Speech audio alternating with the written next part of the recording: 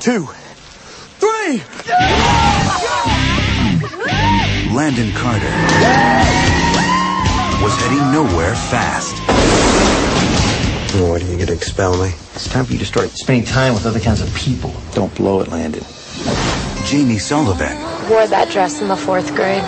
Nice sweater. Thank you. knew exactly who she was. So what's your deal? I don't care what people think about you? No. Now, two people who had nothing in common I need help with my work. Landon Carter's asking me for help. Please. Okay. have everything to learn from each other. Landon Carter is coming here. Dad, I'm not a child. Well, it's him I don't trust, not you.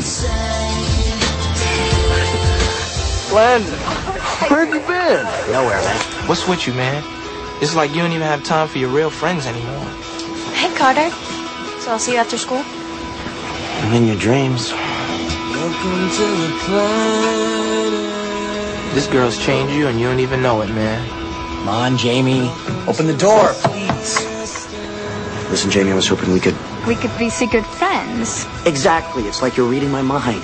Great. Um, maybe you could read mine. Dare you